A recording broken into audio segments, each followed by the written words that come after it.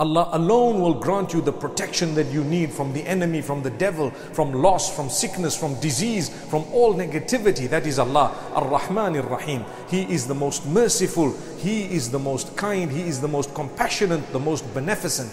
الحمد لله رب العالمين الرحمن الرحيم مالك يوم الدين Gently Allah is reminding us who the owner of the day of judgment is.